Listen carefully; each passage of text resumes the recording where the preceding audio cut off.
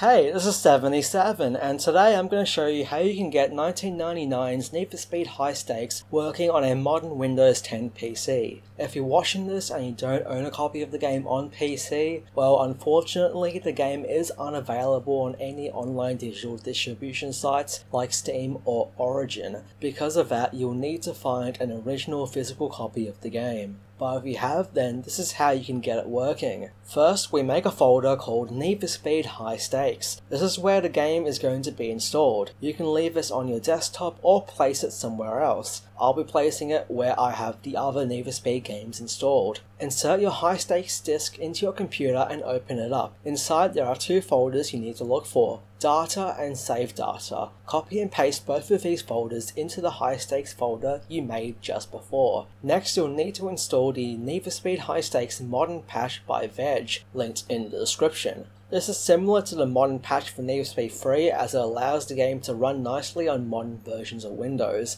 However, the patch for high stakes is missing a lot of features, namely widescreen support, because it seems like development has been suspended on the project. We'll get around this in a second, but for now, download the patch by clicking on the .7z link. This will download a 7-zip file. To open a 7-zip file, you need to open it with a program like 7-zip or WinRAR. If you don't have either of them, they will be linked in the description. For this tutorial, I'll be using 7-zip. Once you've opened the file, highlight everything inside and drag and drop it into the high stakes folder you created. Give it a little time and Windows will ask if you wish to replace some files. Click yes for this. Now to make up for the Modern Patch's shortcomings, we have to download the Modern Patch Setup program by Keiko. This will allow us to change some settings that will enhance the game and make it look good on a modern widescreen display. Click on the big download button and wait for the 7-zip file to finish downloading. Then just open it up and inside is the program. Drag and drop it into the high stakes folder you made just before. Once it's there, open it. A prompt will appear.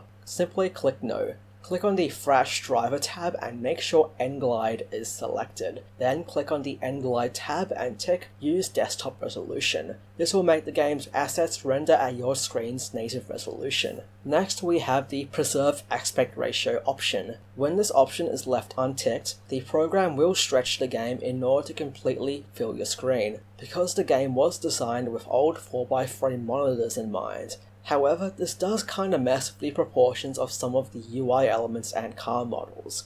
If you tick the box, the program will display the game within its original 4x3 aspect ratio, thus preserving the proportions of everything while still rendering the game's assets at your screen's native resolution. It is completely up to you as to what you should choose, both options work fine. And that's it, you're ready to go. Click save and run and the game will work. Before we move on, there are a few things to note. Firstly, if for some reason your settings don't work, or the intro cutscene flickers after running the game for the first time, just restart the game and it should not happen again.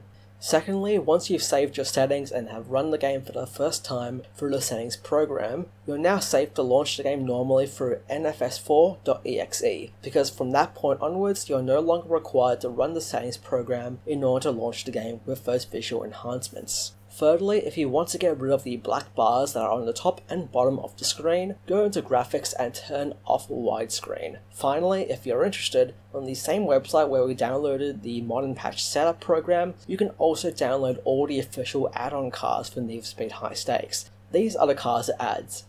Yes, even an R34.